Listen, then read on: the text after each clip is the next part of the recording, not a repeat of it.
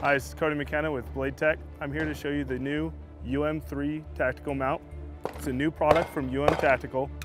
It's designed to go from one pistol system, which we have shown here on the Glock 34, to directly fit up to your XD, Beretta, CZ, all firearms that have a tactical light rail.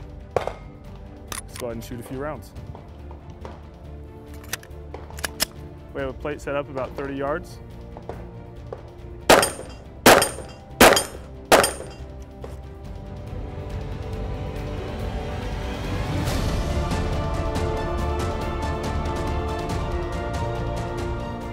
Gun's clear. Got to loosen up the Burris sight, fast fire 2 sight. Hold down on that, push forward. Slides right off.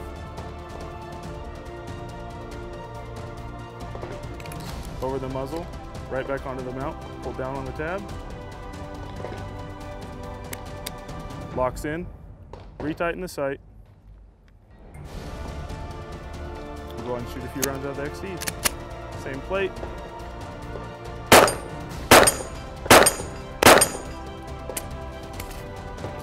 And that's the UM3 sight through UM Tactical.